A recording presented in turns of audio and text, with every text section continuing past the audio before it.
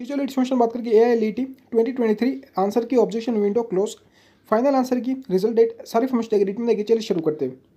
The national university Delhi has close the A I answer key objection window on December fourteen twenty twenty two ठीक है? The provisional answer key of A I twenty twenty three was release online on December twelve candidate will now be able to download the final answer key and A I result twenty twenty soon on the official website ठीक है? Official website आप check कर सकते हो अपना result according to the candidate A I twenty twenty three was lengthy and the moderate difficulty exam ठीक है? आपका जो एग्ज़ाम था लेंदी था और मॉडरेट था.